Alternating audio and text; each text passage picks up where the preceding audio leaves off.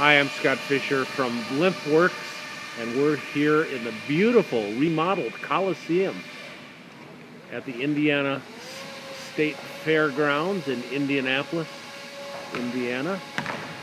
And we are debuting the brand new 15 foot nylon remote control blimp for the Indy Fuel.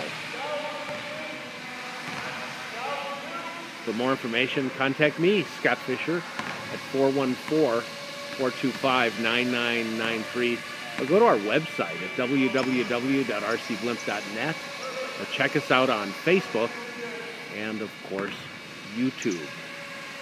15 foot nylon remote control blimp here in the Coliseum for the Indy Fuel.